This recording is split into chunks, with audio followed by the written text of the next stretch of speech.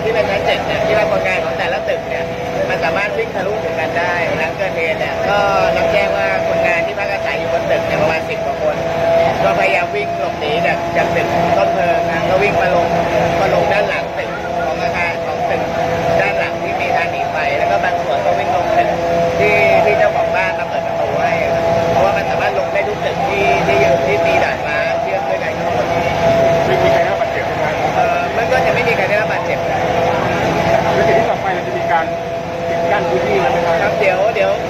เพลิงไม่ได้เนี่ย ตอนนี้ก็ยังมีประกายไฟที่อยู่ที่ยังเพลิงยังไม่ยังลุกไหม้อยู่เนื่องจากแต่ละชั้นเนี่ยเขาเก็บพวกพวกเสื้อเสื้อยืดเสื้อที่เขา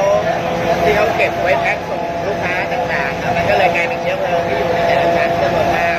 ตอนนี้ถ้าเกิดควบคุมเพลิงได้แล้วเนี่ยเมืองสงบหมดสิ้นเนี่ยก็ผมก็จะปิดกั้นตรงตึกที่เกิดเหตุแล้วก็จะสำรวจความเสียหายอีกครั้งครัว่าว่ามีความเสียหายกับมีผู้ได้รับบาดเจ็บหรือ